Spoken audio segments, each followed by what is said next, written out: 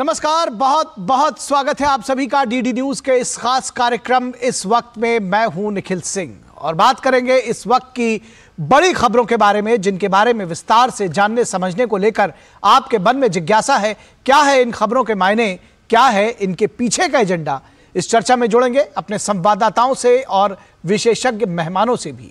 बात करेंगे वीर बाल दिवस की। साहिबजादों की शहादत को नमन किया गया है। क्या है इसके मायने और क्यों ज़रूरी है यह नमन? इस पर हम चर्चा करेंगे। साथ ही साथ गठबंधन का सनातन विरोध, आखिर क्यों सहनशील सनातन पर सियासत आखिर क्यों जारी है? इस पर बातचीत करेंगे और इस पर विशेषज्ञों से भी जुड़ेंगे। साथ ही साथ बात करेंगे कि बीजेपी का बंगाल मिशन आखिर क्या है और क्या है बीजेपी का टारगेट होंगे कई अहम सवाल और जवाब, लेकिन सबसे पहले देखते हैं क्या है इस वक्त की हेडलाइंस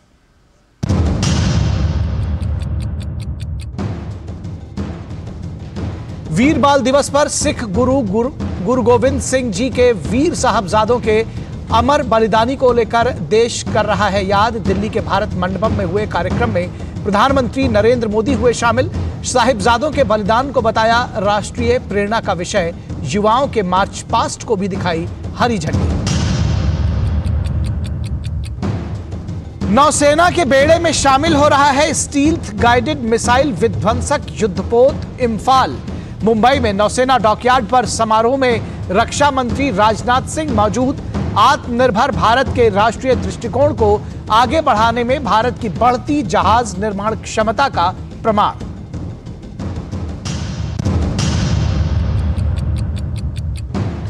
हिंदू धर्म को लेकर समाजवादी पार्टी के नेता स्वामी प्रसाद मौर्य के विवादित बयान पर बीजेपी की कड़ी प्रतिक्रिया। कहा, इंडी गठबंधन के नेता संस्कार नहीं समझेंगे क्योंकि उनके विचार तुष्टिकरण पर हैं आधारित। और पश्चिम बंगाल दौरे पर केंद्रीय गृह मंत्री अमित शाह और बीजेपी अध्यक्ष जेपी नड्डा आगामी लोकसभा चुनाव की तैयारियों को लेकर कर रहे हैं बैठकें। ममता को मात देने के लिए रणनीति पर होगा मंथन। तो इस वक्त में सबसे पहले बात करेंगे वीर बाल दिवस की, बात करेंगे साहिबजादों की शहादत को नमन किस तरह से किया गया है और क्या है इस नमन के मायने? क्यों हम कहते हैं कि वीर बाल दिवस मनाना ज़रूरी है और इस शहादत को समझना भी क्यों ज़रूरी है? भारतीय इतिहास में अमर बलिदान का प्रतीक रहे श्री गुरु गोविंद सिंह जी के साहिबजादों के शहादत दिवस को आज वीर बाल दिवस के तौर पर मनाया जा रहा है। तो आज का दिन बेहद महत्वपूर्ण है, क्योंकि भारतीय इतिहास में अमर बलिदान का प्रतीक रहे गुरु गोविंद सिंह जी के साहबजादों की शहादत दिवस को वीर बाल दिवस के तौर पर आज मनाया जा रहा है। ये दिन श्री गुरु गोविंद सिंह जी के साहबजादे बाबा जोरावर सिंह जी और बाबा फतेह सिंह जी की शहादत के रूप में जाना जाता है। उस वक्त दिल्ली की सत्ता पर मुगल बादशाह औरंगज़ेब का शासन था। उसकी क्रूरता और भारत की संस्कृति पर किए जा रहे प्रहार के खिलाफ दो निडर बालकों ने अदम्य साहस और दृढ़ता दिखाई थी और हँसते हँसते अपनी शहादत दे दी थी। साल 2022 में प्रधानमंत्री नरेंद्र मोदी ने पहल की, जिसके बाद 26 दिसंबर को अतुलनीय बलिदान, साहस और वीरता को राष्ट्रीय स्तर पर याद किए जाना शुरू हुआ। प्रधानमंत्री आज नई दिल्ली स्थित भारत मंडपम में आयोजित वीर बाल दिवस के कार्यक्रम में शामिल हुए। उन्होंने युवाओं के मार्च पास्ट को हरी झंडी दिखाई। और कहा, इस शहादत से प्रेरणा लेने की ज़रूरत है। पीएम ने कहा कि देश ने जब तक अपनी विरासत को भुलाए रखा, तब तक दुनिया ने भी प्राथमिकता नहीं दी। साहबजादों के बलिदान को बताया राष्ट्रीय प्रेरणा का विषय। लेकिन अब समय बदला है। पीएम ने कहा, अब समय बदला है और दुनिया भारत की ओर आशा और उम्मीदों के साथ देख रही है।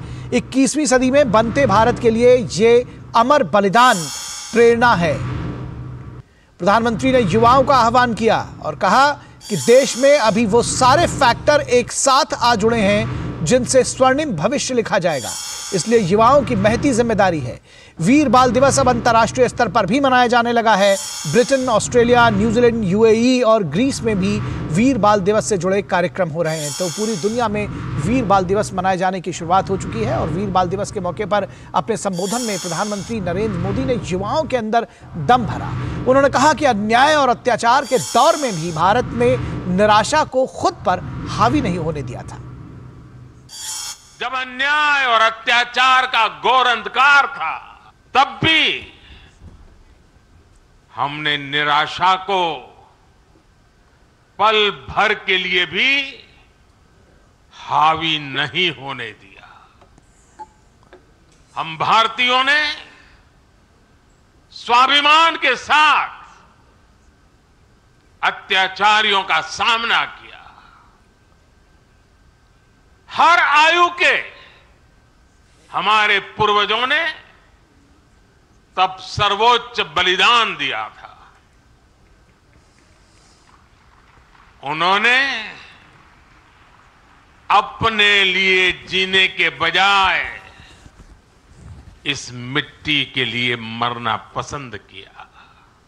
तो उन्होंने अपने लिए जीने के बजाय इस मिट्टी पर मरना पसंद किया, इस मिट्टी के लिए मरना पसंद किया, ये कहा प्रधानमंत्री ने, और उन्होंने युवाओं को इस समय नशे से दूरी बनाने की भी सलाह दी। एक और बहुत बड़ी समस्या भी है, जिस पर एक राष्ट्र के रूप में, एक समाज के रूप में हमें ध्यान देने की ज़रूरत है। ये समस्या है, नशे और ड्रग्स की है। इस समस्या से हमें भारत की युवा शक्ति को बचाना है। इसके लिए सरकारों के साथ साथ परिवार और समाज की शक्ति को भी अपनी भूमिका का विस्तार करना होगा। मैं आज वीर बाल दिवस पर सभी धर्मगुरुओं और सभी सामाजिक संस्थानों से भी आग्रह करूँगा कि देश में ड्रग्स को लेकर एक बड़ा जन आंदोलन हो, एक समर्थ और सशक्त युवा शक्ति के निर्माण के लिए सबका प्रयास आवश्यक है। सबका प्रयास की यही सीख हमें, हमारे गुरुओं ने दी है। और इस पूरी खबर पर बातचीत करने के लिए हमारे साथ हमारे संवाददाता शैलेंद्र मिश्रा जुड़े हुए हैं। शैलेंद्र, कहा जाता है कि इतिहास से सीख लिया जाता है, इतिहास हमें प्रेरित करता है। साहेबजादों का जो बलिदान था जो शहादत थी वो कहा जा रहा है कि आज भी प्रासंगिक है। किस तरह से आज प्रासंगिक है और किस तरह से युवा आज उनसे प्रेरणा ले सकते हैं? कि देखिए युवाओं के लिए ये जानना ज़रूरी है कि हमारा कितना गौरवशाली इतिहास रहा और किस तरह से आ, हमारे देश में बलिदान का एक इतिहास रहा और ऐसी जब चुनौतियाँ रही ऐसा कठिन दौर रहा है तब भी हमने हिम्मत नहीं हारी हमारे युवाओं ने हिम्मत नहीं हारी और अब जब पूरी दुनिया देख रही है भारत की तरफ़। ऐसे में जब अगले 25 वर्षों का एक रोड मैप सामने है, प्रधानमंत्री नरेंद्र मोदी की स्पष्ट नीति, स्पष्ट जो सोच है, उससे देश आगे बढ़ रहा है तो युवाओं को आगे आकर ज़िम्मेदारी उठानी होगी। और हम जब अपने इतिहास से प्रेरणा लेते हैं, अब जब हम अपने वीर जो रहे हैं, उनसे, जो शहीद हुए हैं, उनसे प्रेरणा लेते हैं तब दरअसल हम अपने गौरवशाली इतिहास पर गर्व करते हुए भविष्य के बारे में बात करते हैं, क्योंकि तब हमें लगेगा कि जो मौजूदा चुनौतियाँ हैं, वो उन चुनौतियों के मुकाबले कुछ नहीं है जो हमारे से पहले जब हमारा जो इतिहास रहा है, उस वक्त लोगों ने जिसके लिए शहादत दी। तो ये आप देखिए इसमें बहुत महत्वपूर्ण आज प्रधानमंत्री नरेंद्र मोदी का संबोधन है, जब वो युवाओं से कहते हैं कि आइए आप देखिए कि किस तरह से अगले जो 25 वर्ष हैं, उसमें युवा की भूमिका कितनी महत्वपूर्ण होने वाली है। जब आज हम देख रहे हैं 2014 के बाद इतनी बड़ी संख्या में स्टार्टअप हैं, युवा हर क्षेत्र में आगे आ रहा है। हम देख रहे हैं कि भारत ज्ञान विज्ञान का क्षेत्र हो, अंतरिक्ष का क्षेत्र हो डिफेंस का क्षेत्र हो हर क्षेत्र में भारत आगे हो आ जा रहा है और उसमें युवाओं की बहुत महत्वपूर्ण भूमिका है और इस बात को प्रधानमंत्री नरेंद्र मोदी रेखांकित करते हैं। तो निश्चित तौर पर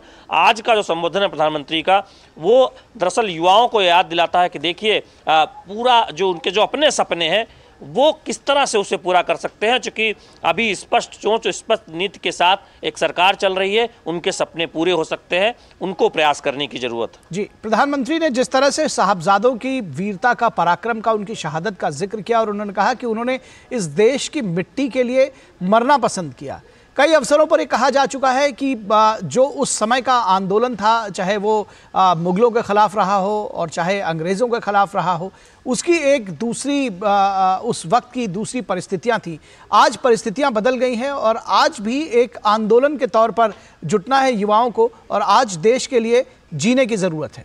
बिल्कुल, निखिल, हम जानते हैं कि प्रधानमंत्री अक्सर ये कहते हैं कि जिन युवाओं को देश के लिए मरने, मिटने का मौका मिला था या फिर मुगलों के खिलाफ एक तरह से आंदोलन करने का, मरने, मिटने का मौका मिला था, शहीद हुए थे लेकिन आज का दौर आप देखें, भले ही हमें देश के लिए मरने का, मिटने का मौका नहीं मिल रहा तमाम युवा हैं वो देश के लिए जिए, यानी विकसित भारत का जो हमारा संकल्प है, किस तरह से उसमें युवा अपना योगदान दे सकता है, कैसे वो अपने सपने को पूरा करते हुए भारत का जो को एक विकसित राष्ट्र बनाने का सपना है उसमें अपना योगदान दे सकता है। चूँकि सामूहिक प्रयास की ज़रूरत है उसमें युवाओं की सबसे बड़ी महत्वपूर्ण भूमिका है। और जैसा कि प्रधानमंत्री ने कहा कि सिर्फ़ सरकारें बदलाव नहीं ला सकती समाज बदलाव लाएगा और उसमें युवा बहुत महत्वपूर्ण भूमिका में अपनी एक तरह से रोल निभा सकता है। और हमने देखा है कि प्रधानमंत्री अक्सर युवाओं से अपने अतीत से प्रेरणा लेने की बात कहते हैं अपने इतिहास से प्रेरणा लेने की बात करते हैं।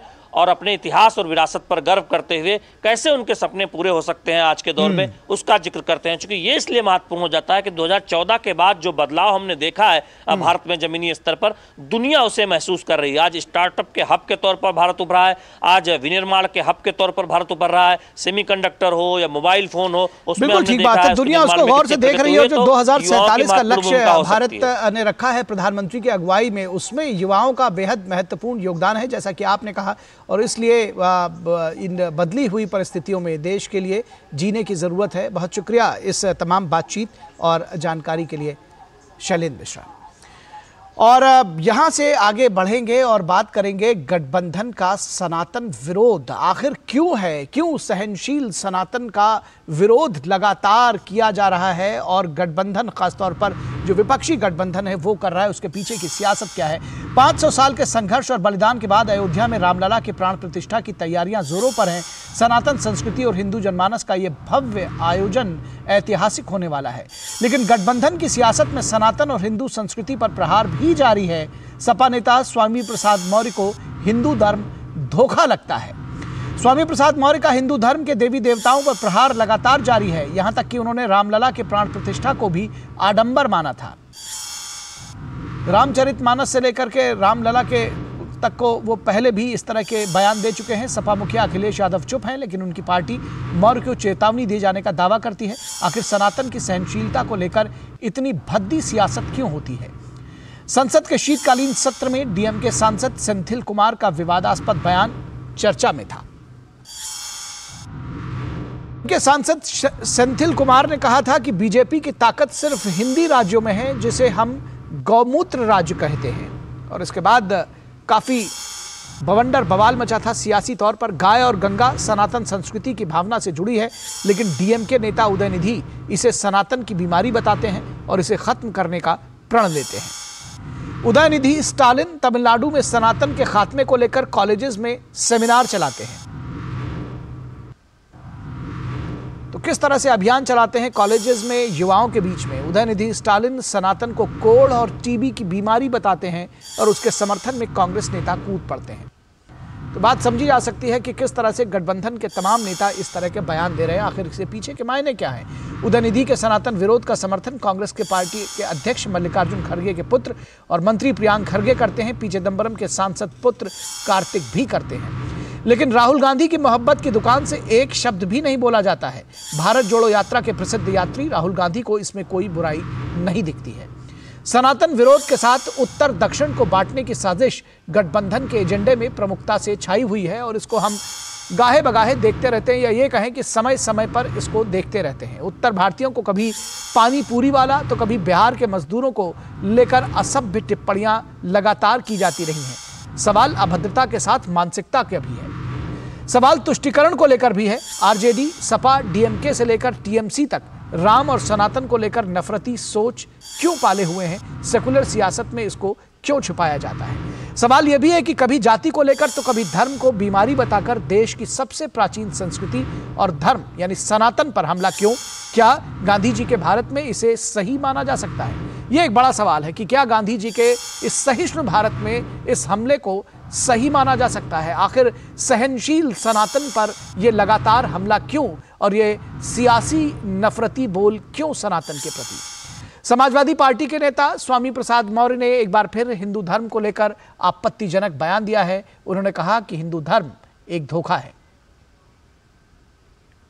एक धोखा है। हिंदू धर्म धर्म नहीं है, बल्कि एक धोखा है। और जिसे हम जिसे हम हिंदू धर्म कहते हैं, वो कुछ लोगों के लिए धंधा है। और उनके इस बयान को लेकर उत्तर प्रदेश के उप मुख्यमंत्री केशव प्रसाद मौर्य ने कहा कि सनातन धर्म को कोई कमज़ोर नहीं कर सकता।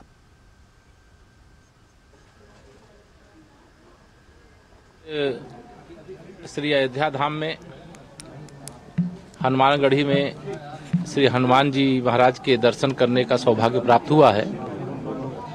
हमारे प्रदेश के संगठन महामंत्री आदरणीय धर्मपाल जी, पूज्य राजू दास जी महाराज और कहते हैं ना, राम द्वारे तुम रखवारे होत ना आज्ञा बिन पैसारे।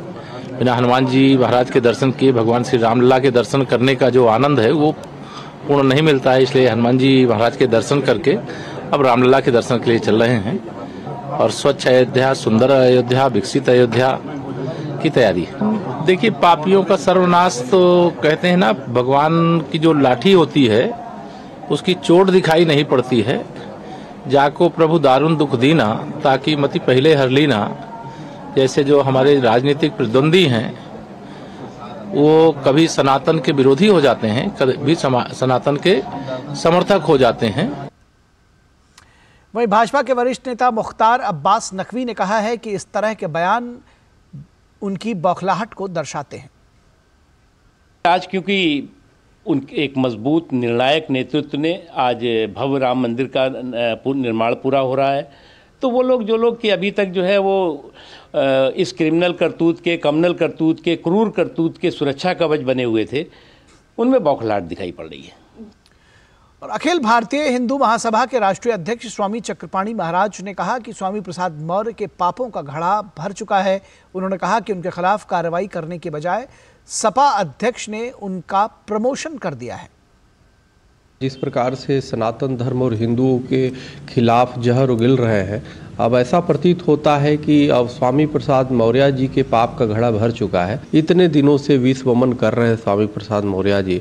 उनके राष्ट्रीय अध्यक्ष समाजवादी पार्टी के माननीय अखिलेश जी कार्रवाई अभी तक नहीं कर रहे हैं, बल्कि ऊपर से प्रमोशन उनका कर दिया हिंदुओं के खिलाफ बोलने के और इस पूरी खबर पर बातचीत करने के लिए हमारे साथ तीन खास मेहमान जुड़े हुए हैं उनसे आपका परिचय करा दें। हमारे साथ जीएस प्रशांत जुड़े हुए हैं बीजेपी के प्रवक्ता हैं। जीएस प्रशांत जी बहुत स्वागत है आपका। हमारे साथ शिव कुमार दुबे जी जुड़े हुए हैं जो कि समाज आ, समाजवादी पार्टी के प्रवक्ता हैं। वो थोड़ी देर में जुड़ेंगे हमारे साथ। फ़िलहाल हमारे साथ विनोद मिश्रा हमारे कंसल्टिंग एडिटर वो भी जुड़े हुए हैं। विनोद मिश्रा जी आपके साथ शुरुआत करें।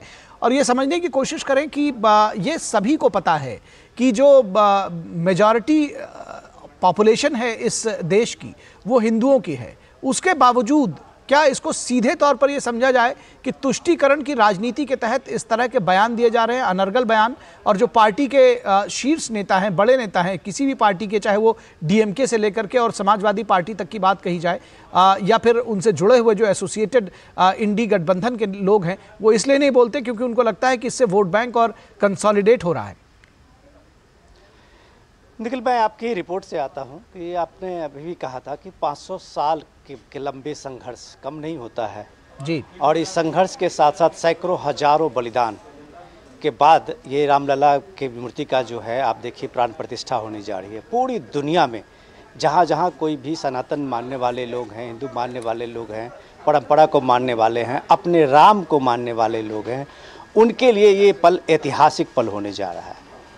और ये ऐतिहासिक पल में आप जब देखते हैं कि उसमें अयोध्या को देखिए अयोध्या के साथ साथ तो पूरे देश की आप उस वातावरण को देखिए कि रामलला के साथ में उनके प्राण प्रतिष्ठा के साथ में कैसे भावनाएँ हिलोड़ मार रही हैं। लेकिन उसके साथ जब आप ये सब चीज़ें देख रहे हैं उसकी चीज़ों को समझने की ज़रूरत है कि आखिर ये क्यों हो रहा है। जी। जो बात अभी आप कह रहे थे कि अब देखिए ये इतना लंबा संघर्ष इतने संघर्ष का क्या मतलब था? आप राम को भगवान माने न माने?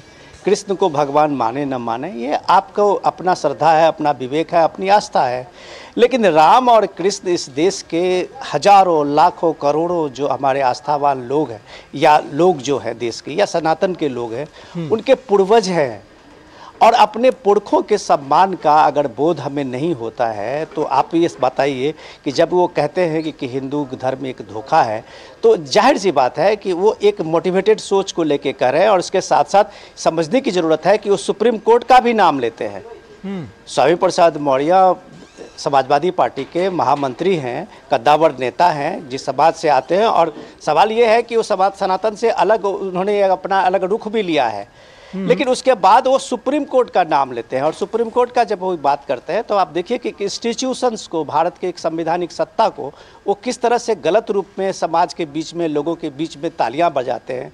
सुप्रीम कोर्ट का कहना था कि Hinduism is a way of life तो सुप्रीम कोर्ट ने कभी नहीं कहा था कि हिंदू धर्म धोखा है आप जो सुप्रीम कोर्ट को कोर्ट करते हुए बताते हैं। तो अगर इस बात को आप इस मर्यादा को तोड़ते हुए आगे बढ़ते हैं तो ज़ाहिर सी बात है कि आप एक राजनीति करते हुए दिखते हैं और उस राजनीति में आप एक जहर घोलने का काम कर रहे हैं जो आपको लग रहा है कि भारत का जो सांस्कृतिक प्रादुर्भाव है जिसमें इस देश का एक जनमानस जो है अपने राम और अपने कृष्ण अपने आदर्श अपने पुरखे अपनी चीज़ों को लेके अभी एक नई तरह से आप कहीं उसमें एक ऊर्जा या अपनी तरह से कहिए कि, कि नया जीवन का एक उत्कर्ष सामने में आया है तो उसके अगेंस्ट में ये सारी चीज़ें आप रिएक्शन देख रहे हैं। जो आप साउथ में अगर आप देखें, जो स्टालिन कह रहे हैं कि ये सनातन एक बीमारी है और इस बीमारी को दूर करने के लिए वो सनातन विरोधी अभियान उन्होंने शुरू किया है। कांग्रेस के बड़े बड़े नेता हैं, उनके वो सपोर्ट में आगे आ जाते हैं। तो ये सवाल जो हिपोक्रेसी है कि इलेक्शन के समय में आप मध्य प्रदेश जाते हैं तो आप सॉफ्ट हिंदुत्व कार्ड देखते हैं। आप वहाँ पे एकदम गेरुआ वस्त्र में मंदिर के मंदिर घूमने लगते हैं, कोर्ट के ऊपर जनेऊ पहन लेते हैं।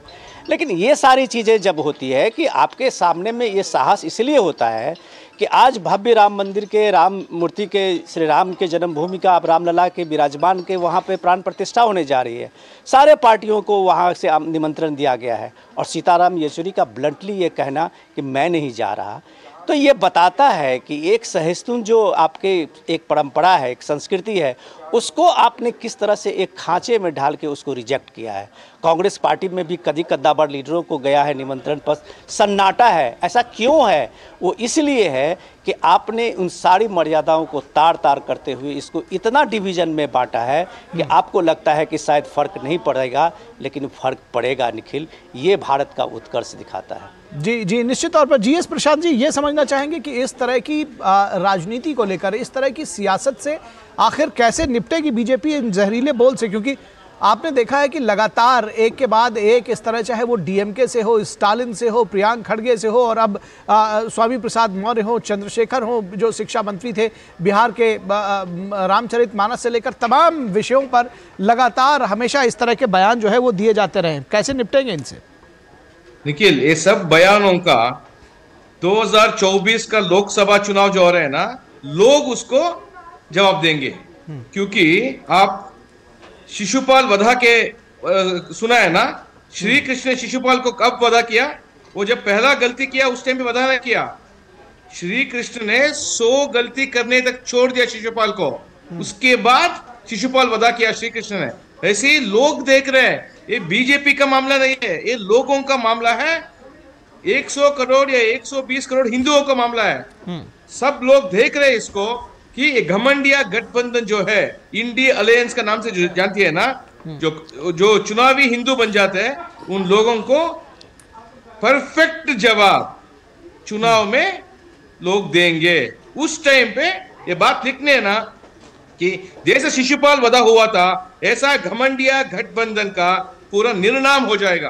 क्योंकि जो। भी हमारा हिस्ट्री में देखो आप जो भी सनातन बारे के बोला है वो कभी भी जीता नहीं है। जो मुगलों को ले लो हमारा हज़ारों वर्ष का चरित्र है भारत का उसमें मुगलों को कितना था?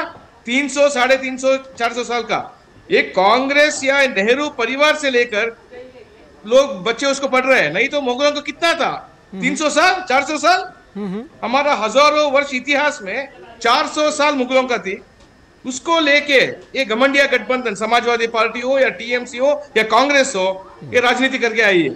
ये बहुत गलत बात है क्योंकि चुनाव के लिए सिर्फ़ वोट बैंक पॉलिटिक्स के लिए ये सब लेकिन इस इस बात को आप जनता के बीच में कैसे लेकर जाएँगे? क्योंकि जो लोग इस तरह के बयान दे रहे हैं वो जानबूझकर ऐसा बयान दे रहे हैं उनका टारगेट है वो तुष्टिकरण के लिए दे रहे हैं ये बार बार बार कही जा रही है और बीजेपी इसको भली प्रकार से समझती है।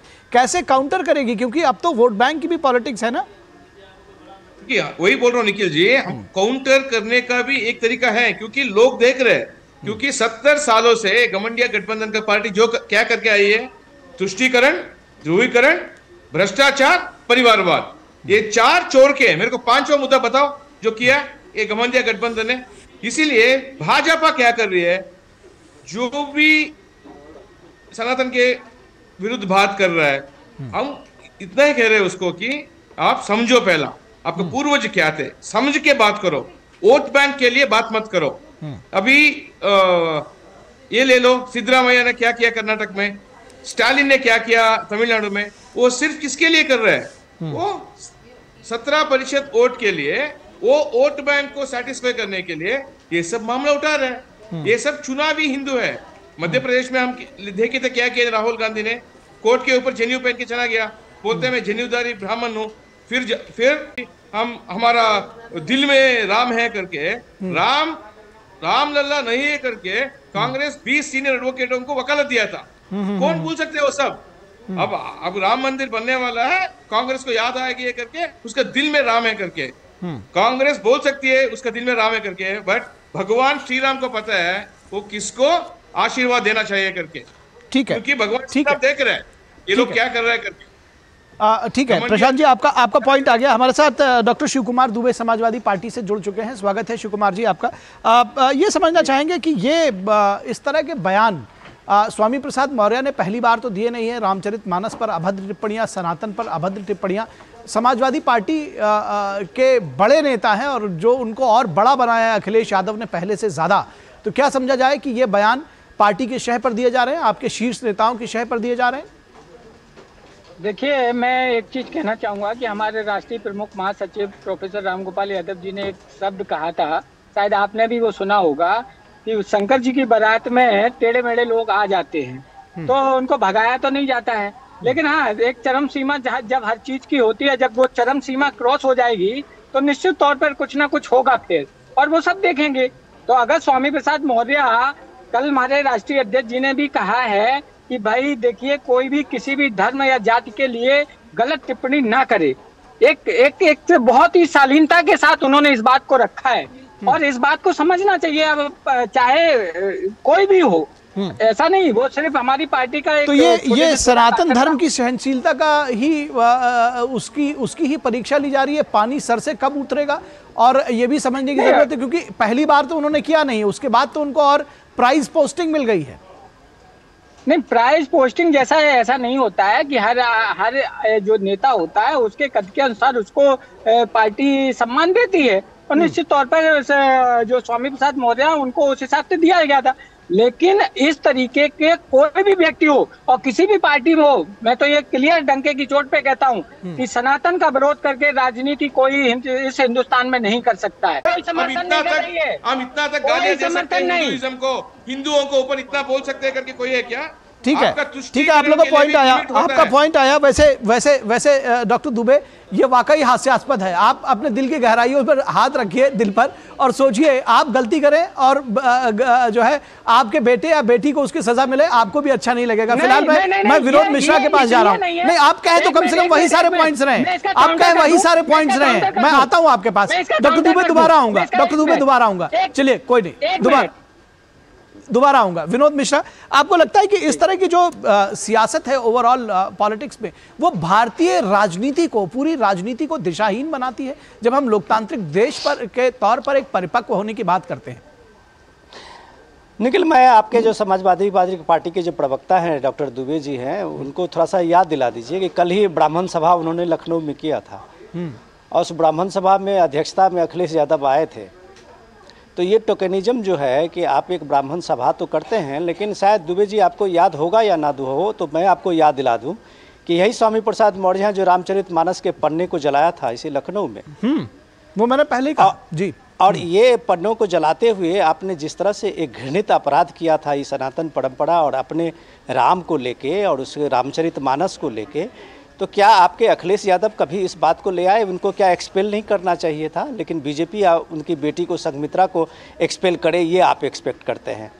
तो क्या आपने ब्राह्मण सभा में कभी एक बार पूछा उनको कि आप हमारे तुलसी, हमारे रामायण, हमारे आदर्श, हमारे हमारे ग्रंथ, हमारे पवित्र ग्रंथ, उसको कोई जला रहा है? तो ये जो बात हम निखिल कह रहे थे सहनशीलता का तो आप इसको मज़ाक उड़ा रहे हैं? इसका मतलब कि कोई जलाया है तो जलाया है? ये डेमोक्रेसी है। कोई अगर कुछ बोल रहा है तो आप कहते हैं, ये उसका फंडामेंटल राइट है। अपने, अपनी बात तो कह रहा है। कांग्रेस के प्रवक्ता कहते हैं, उदयनिधि स्टालिन को लेके कि देश में बोलने की आज़ादी है।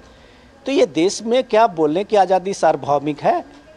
एक रिलीजन को लेके जो आपका आग्रह है, जिस बात को रहता है कि आप तुरंत एक सीमा से बाहर चले जाते हैं।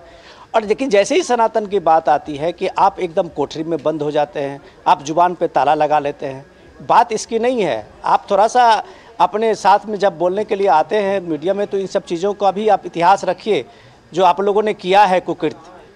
सवाल ये है कि अगर मैं आपसे पूछूँ कि रामलला विराजमान की तो बाईस तारीख को प्राण प्रतिष्ठा हो रही है वहाँ मूर्ति की, क्या आपके जो चीफ मिनिस्टर रहे चाहे वो नेताजी मुलायम सिंह यादव हों, चाहे वो अखिलेश यादव हों, कभी आपने कभी देखा है उनको अयोध्या के उस जगह पे जाते हुए रामलला के मंदिर में और वहाँ उनके मंदिर में रामलला के विराजमान को एक बनाते हुए, उनकी श्रद्धा देते हुए?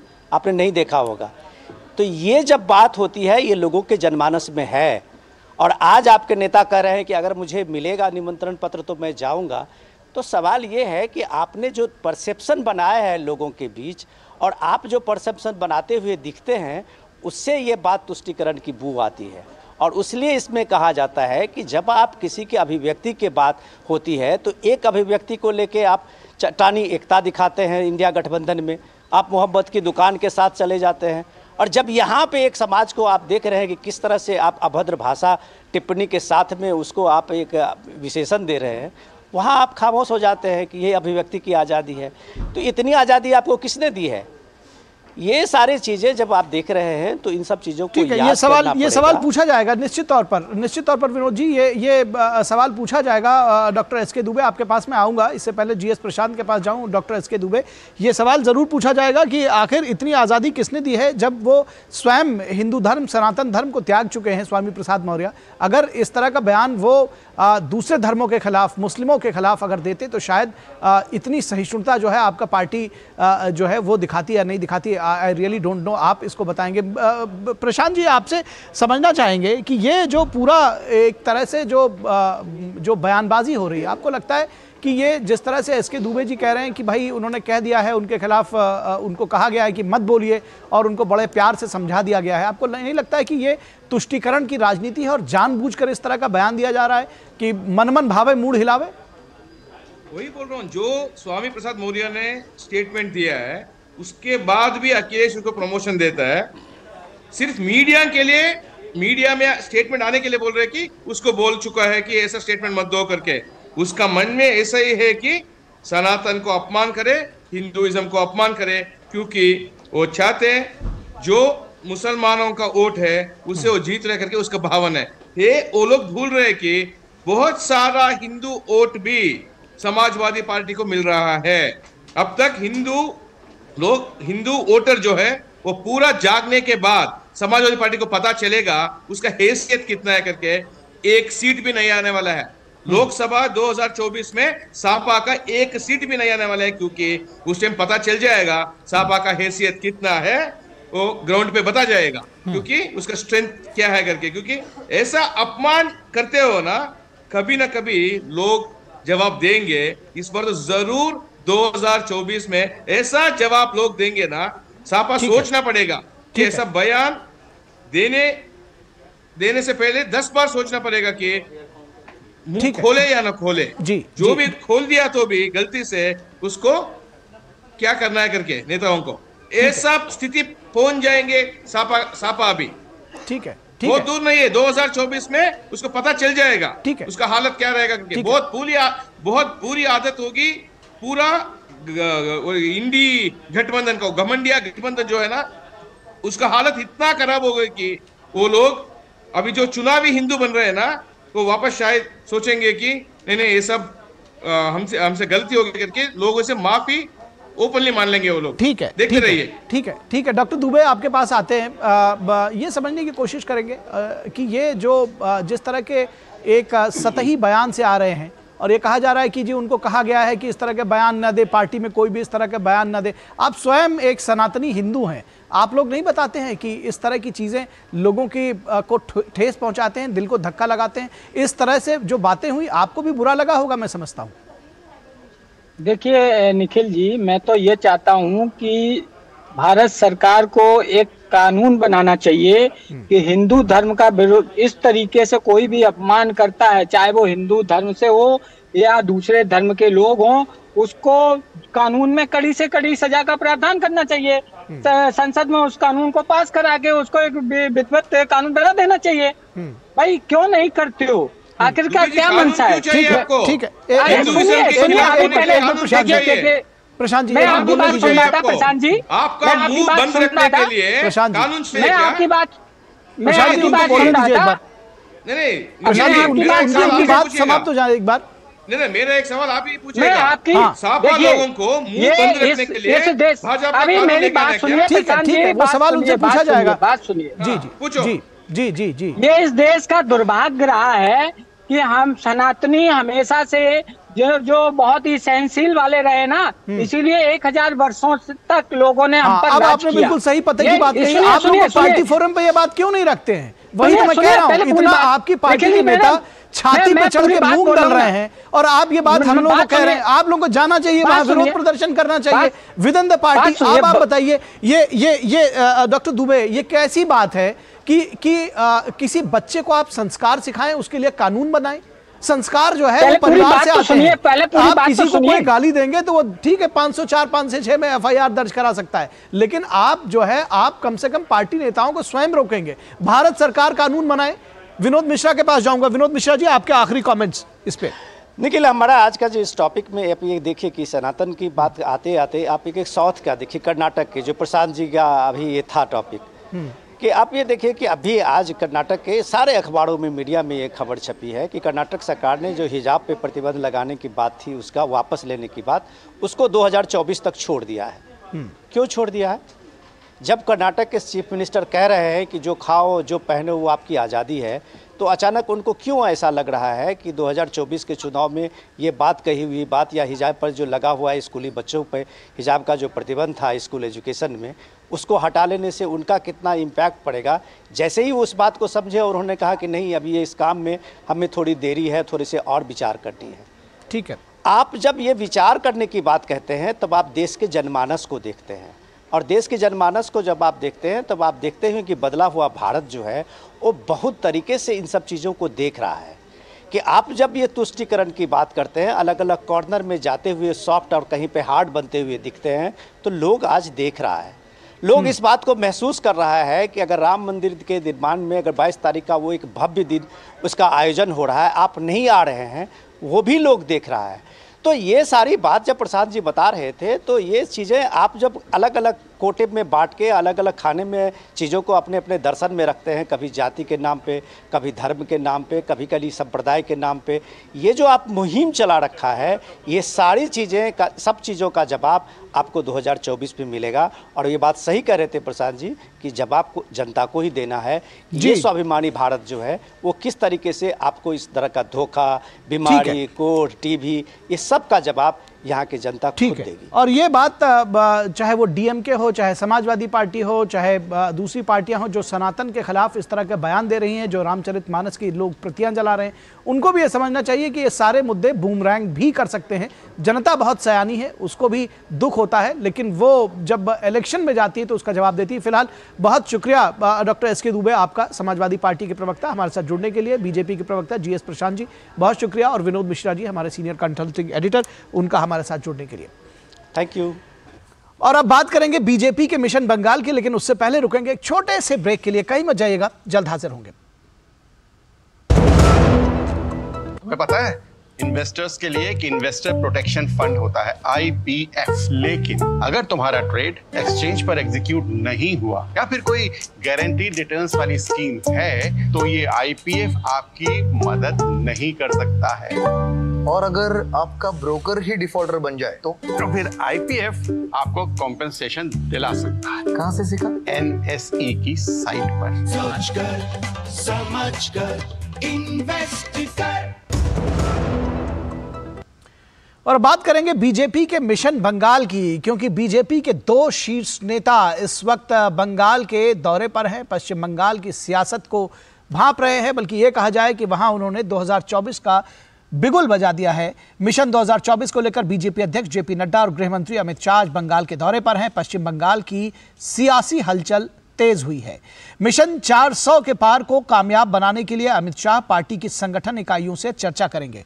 तो गृह मंत्री अमित शाह एक बार फिर जो है पहुँचे हैं पश्चिम बंगाल और इस बार जेपी नड्डा साथ में है। पश्चिम बंगाल के दो दिवसीय दौरे में पार्टी अध्यक्ष जेपी नड्डा संगठन को विस्तार देने के साथ मजबूती लाने का प्रयास करेंगे। बीजेपी ने पश्चिम बंगाल में 35 सीटें जीतने का लक्ष्य रखा है। 2019 में बीजेपी ने 42 लोकसभा सीटों में से 18 जीते थी। बीजेपी अपने संगठन को साध कर इस लक्ष्य को हासिल करना चाहती है।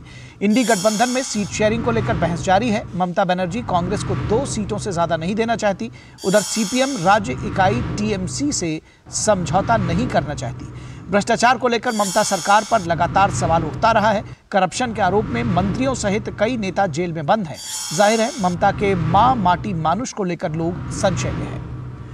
तो ये अपने आप में जिसको कहते हैं बीजेपी का मिशन 2024 जो है उसकी शुरुआत हो चुकी है पश्चिम बंगाल में। और वहीं अगर इंडी गठबंधन की बात करें विपक्षी गठबंधन की बात करें ममता बनर्जी और सीपीएम कांग्रेस की बात करें तो वो निश्चित तौर पर अभी फ़िलहाल बहुत सारे आपसी मतभेद हैं जिनको उन लोगों को सुलझाना है और वो एक साथ हैं भी या नहीं ये भी समझने की ज़रूरत है। हमारे साथ प्रसेंजीत बख्शी हमारे संवाददाता इस वक्त कोलकाता से जुड़े हुए हैं।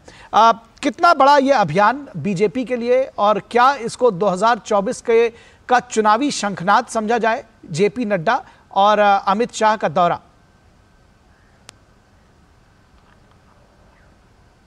देखिए निखिल आपकी जो रिपोर्टिंग है उसमें एक शब्द का मैं इधर उधर करना चाहूँगा। आ, आपने जो बताया कि पश्चिम बंगाल में ये मिशन 2024 की शुरुआत मैं इसको कहूँगा कि ये पश्चिम बंगाल में नहीं पश्चिम बंगाल से आ, 2024 की संकलाद या 2024 की मिशन आ, 400 की शुरुआत भाजपा ने की है। ये में नहीं ये से है। ठीक है। क्योंकि मैं ये कहना चाह रहा हूँ कि जो ये मिशन 400 है ये माइनस फोर्टी टू नहीं हो सकता है। ये पहले से ही मैं बार बार कहने की कोशिश कर रहा हूँ कि बंगाल की minus forty two mission four hundred नहीं हो सकता है। और 2021 के विधानसभा चुनाव के बाद ऐसे माहौल पैदा करने की कोशिश किया गया था इंडी की तरफ़ से कि बंगाल की 42 सीटों से बीजेपी सफाया हो चुके हैं। और ये जो पिछले 2019 की जो 18 है इसके बारे में बीजेपी भूल जाए तो ठीक है। लेकिन असलियत ऐसा नहीं है यह साबित करना बीजेपी के लिए एक चुनौती है और इसीलिए अमित शाह और जेपी नड्डा दोनों कई दिनों के बाद एक साथ किसी एक शहर में दिखे। जी। पिछले किसी चुनाव में इन दोनों को एक साथ हमने देखे नहीं एक जगह पे। जी। ये एक साथ पहुँचे हैं 22 तारीख को पार्लियामेंट खत्म हुआ 23 और 24 दिल्ली बीजेपी ऑफ़िस में इन लोगों ने मीटिंग की 25 तारीख का छुट्टी के बाद उसी दिन आधी रात को ये कोलकाता पहुँच गए। मतलब बंगाल से बीजेपी का मिशन 2024 का शुरुआत है। जी। और ये जो 18 इस 18 को मिशन 35 35 तक ले जाने के लिए और जो मिशन 400 में अपना योगदान रखेंगे इसी का तैयारी में लगे हुए हैं जेपी नड्डा और अमित शाह। पहली चरण का जो बैठक है वो खत्म हो चुके हैं। ये अभी जा रहा है नेशनल लाइब्रेरी वहाँ पे सोशल मीडिया की जो प्रोग्राम है वो करके फिर शाम को छह बजे से शुरू करेंगे। और कब तक चलेगा इसकी कोई पता नहीं है। तो ये 42 को बाद रखकर ठीक है। माइनस करके ए, ए, एक बात ये भी समझना चाहेंगे बीजेपी का जो मिशन है उसकी बार बार कहना चाह रहा हूँ ठीक है। ठीक है आपकी बात आ गई। दरअसल मैं आपको बताऊँ कि आ, मैं राज्य विशेष के साथ चलता हूँ। जब आ, चल रहे थे जब हम राजस्थान की बात करते हैं तो मिशन 25 की बात करते हैं जब उत्तर प्रदेश की बात करते हैं तो मिशन 80 की बात करते हैं। इसलिए जब पश्चिम बंगाल की बात हुई तो मिशन बयालीस की बात हो रही है। और ज़ाहिर तौर पर जो आपने कहा वो भी सही है अपने आप में मिशन चार सौ। फ़िलहाल ये समझना चाहेंगे कि जो इस वक्त दो बड़े नेता, दिग्गज नेता बीजेपी के इस वक्त राज्य के दौरे पर हैं। ज़ाहिर तौर पर ममता बनर्जी और उनकी पार्टी में हलचल होगी। आप किस तरह की हलचल क्या आप सीपीएम और कांग्रेस में भी है या ज़्यादा धक्का सिर्फ़ ममता बनर्जी को हो, ज़्यादा तैयारियाँ वही कर रही हैं इसको गिव बैक करने के लिए? देखिए, निखिल, इसमें एक मज़ेदार बात यह है कि दो दिन पहले 24 तारीख को यहाँ पे गीता पाठ की एक प्रोग्राम रखा गया था। और उसी दिन से चाहे वो वाम मोर्चे हो चाहे वो कांग्रेस चाहे वो तृणमूल सबके बीच में एक हलचल बन शुरुआत हमने देखे है। और उसके बाद फिर 26 तारीख को ये दोनों नेता आने के बाद अब ये चर्चा में है जैसे आपने शुरुआती में कह रहे थे कि तृणमूल कांग्रेस ने कह दिया कि कांग्रेस को दो सीटें के अलावा वो छोड़ने के लिए तैयार नहीं है। अब वाम मोर्चे का कहना है कि वो बंगाल में तृणमूल के साथ समझौता करने के लिए तैयार नहीं है, जबकि हम उसी दिन दिल्ली का होटल में देखे हैं कि ठीक ममता बनर्जी का बाजू में ही सीताराम येचूरी बैठे हुए थे। तो अब सीपीआईएम अगर इसको सेंट्रलाइज डेमोक्रेसी की बात करे, अगर इसका सेंट्रल कमेटी डिसाइड करती है कि हम बंगाल में इंडी अलायंस के हिसाब से जाएँगे तो चाहे बंगाल की मोहम्मद सलीम जो कुछ भी कहे इनको समझौता करना ही पड़ेगा। लेकिन देखना इस बात की है कि बीजेपी की इस तरह की मुहिम छेड़ने के बाद इन लोगों ने आपस में किस तरह की सीट शेयरिंग की बात करते हैं? बयालीस में ममता बनर्जी कितने दूर तक वाम मोर्चे को छोड़ने के लिए तैयार होती है? या कांग्रेस दो सीट लेकर खुश रहते कि नहीं? इसीलिए सिर्फ़ ममता बनर्जी या तृणमूल कांग्रेस नहीं तीनों घटक दलों के अंदर एक हलचल मचा हुआ है कि अगर अमित शाह और जेपी नड्डा की सफ़र के कारण मिशन अठारह मिशन 35 तक पहुँच जाते हैं तो हम किस तरह से सिचुएशन को सामना करें और किस तरह से अपना गठबंधन बनाए। जी निश्चित तौर पर। बड़े सारे सवाल हैं जिसको मिलकर उनको जवाब देना होगा और मिलेंगे भी कि नहीं ये भी अपने आप में एक बड़ा सवाल है। फ़िलहाल बहुत शुक्रिया इस तमाम बातचीत और जानकारी के लिए प्रसेनजीत और रुकेंगे एक छोटे से ब्रेक के लिए। ब्रेक के बाद जब वापस लौटेंगे तो बात करेंगे कि अब न्याय का नया अध्याय और राष्ट्रपति से स्वीकृत मिलने के बाद तीनों जो कानून हैं वो अब कानून बन चुके हैं। अब वो बिल्स तक सीमित नहीं रहे। सर बेरी पुलाव ट्राय करू। मस्त है। कैसा है? अरे उसको काय को घूरता है। टिप्स इग्नोर करने का अपना दिमाग लगाकर ऑर्डर देने का। मार्केट का स्टॉक टिप्स बहुत लोग देता है। डेंजरस हो सकता है। कंपनी और रिस्क पूरे पूरा समझने का। फिर इन्वेस्ट करने का। सोच कर समझ कर इन्वेस्ट कर। स्वागत है आपका ब्रेक के बाद और अब बात करेंगे भारत की बदलती, बदली हुई न्याय व्यवस्था की। अब न्याय का न्याय अध्याय और अब भारतीयों के लिए अपना न्याय है। राष्ट्रपति से स्वीकृति मिल गई है तीनों कानूनों की और वो कानून के तौर पर लागू हो चुके हैं। राष्ट्रपति से स्वीकृति मिलने के बाद भारतीय न्याय संहिता, भारतीय नागरिक सुरक्षा संहिता और भारतीय साक्ष्य अधिनियम कानून बन चुके हैं। अंग्रेज़ों के समय से ही चल रहे देश के प्रचलित कानून आईपीसी, सीआरपीसी और एविडेंस एक्ट अब इतिहास बने। अब नए कानूनों के तहत ही चलेगी न्यायिक प्रक्रिया।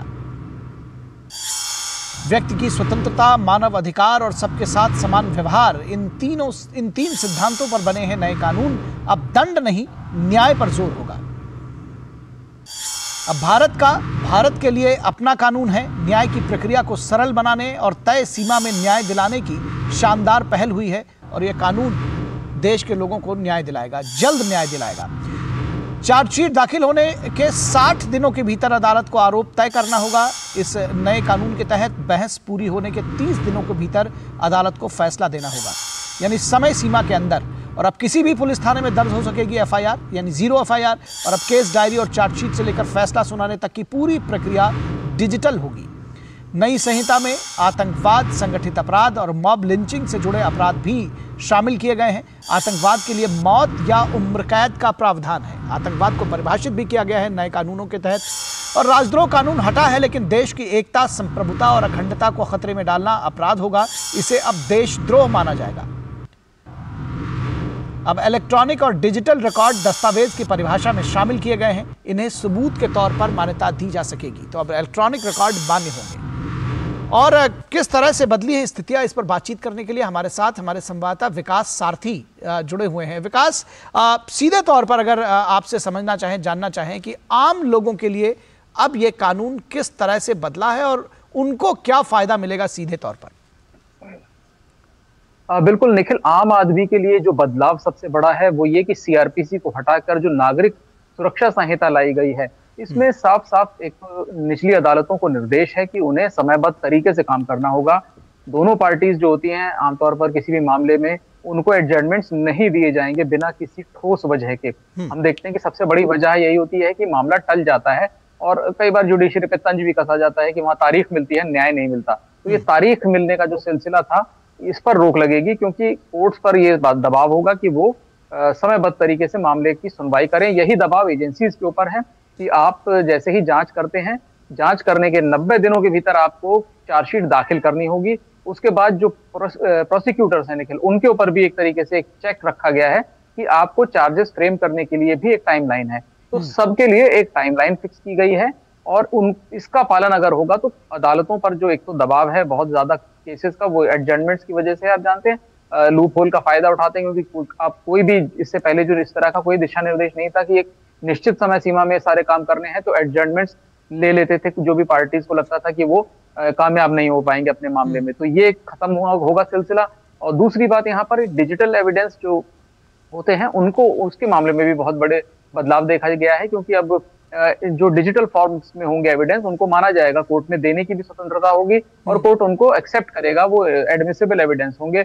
आप देखें कि जैसे फ़ोन में जो मैसेजेस व्हाट्सएप मैसेजेस या एसएमएस कुछ भी होता है इसको लेकर के इसकी पहले प्रिंट आउट लीजिए आप उसको सर्टिफाई कराइए कि ये इसी फ़ोन से लिए गए हैं। ये सारी चीज़ें एक लंबी प्रक्रिया अब तक चलती थी। अ, तो अब यह है कि एविडेंस को डिजिटल फॉर्म में भी स्वीकार किया जाएगा कि अगर कोई धोखाधड़ी का मामला है तो उसमें वो मान लीजिए कोई कोई मैसेजेस हैं वो इस्तेमाल किए जा सकते हैं। यानी कि लोगों के लिए जो न्याय है वो सहज और सरल बनेगा। एक बात बहुत जल्दी से चाहेंगे आप इसमें जोड़ दें कि ये जो आपने कहा कि अदालतें अब तेज़ी से फैसला दे सकेंगी समय सीमा के भीतर इसी तरह से थाने में भी अब एफआईआर दर्ज करना ज़रूरी होगा। कोई कहीं से भी एफआईआर दर्ज करा सकेगा और चार्जशीट जो फाइलिंग जो आयु हुआ करते थे महीनों पहले कभी लटकाते भी थे वो सब अब उनके ऊपर भी नकेल होगी। बिल्कुल निखिल सबके ऊपर एक नकेल है सबके ऊपर एक चेक एंड बैलेंस का सिस्टम है। यानी पुलिस को तफ्तीश पूरी करनी होगी समयबद्ध तरीके से अपनी जाँच की रिपोर्ट देनी होगी। उसके अलावा आप देखें कि ये भी पुलिस के ऊपर एक बड़ा बदलाव लाया गया उनके कार्य प्रणाली में कि सात साल से अगर ज़्यादा की सजा है ऐसा- ऐसा प्रावधान है। तो वहाँ फॉरेंसिक टीम का जाना मैंडेटरी है अनिवार्य है। अक्सर हमने देखा है कि गंभीर मामलों में अपराधी क्यों छूटते हैं क्योंकि फॉरेंसिक की जानकारी पुलिस को है नहीं और एविडेंस के साथ छेड़छाड़ की जाती है। तो जहाँ पे इस तरह के गंभीर अपराध होंगे वहाँ पुलिस को फॉरेंसिक टीम को ले जाना पड़ेगा ताकि उनके केस अदालत में जाकर ढह ना जाए। ये भी एक बड़ा बदलाव किया गया है। इसके अलावा जैसा आपने बताया कि समय पर चार्जशीट दाखिल करनी होगी प्रोसिक्यूटर को समय पर चार्ज चार्जेस फ्रेम करने होंगे। तो पुलिस के ऊपर भी बिल्कुल दबाव है कि समय पर कार्रवाई करे। मान लीजिए जैसे रेप के केसेस में पहले मेडिकल रिपोर्ट देने में कई हफ़्ते लगा देते थे अस्पताल। अब इसमें डॉक्टर को सात दिनों के अंदर मैंडेटरी है कि अपनी रिपोर्ट सौंपनी होगी पुलिस को। हम्म। तो ये सब जो लूप होल्स थे उनको हाँ। बंद करने की कोशिश की गई। चलिए बहुत बढ़िया है और अब लोगों को समय पर न्याय मिल सकेगा और इसीलिए कहा जा रहा है कि भारत का भारतीयों के लिए कानून है ये अपना कानून है अंग्रेज़ी कानून के अब दिन लद गए हैं। बहुत शुक्रिया इस तमाम बातचीत और जानकारी के लिए विकास सारथी। तो इस वक्त के आज के अंक में बस इतना ही। हमारी पूरी टीम को दीजिए इजाज़त। नमस्कार।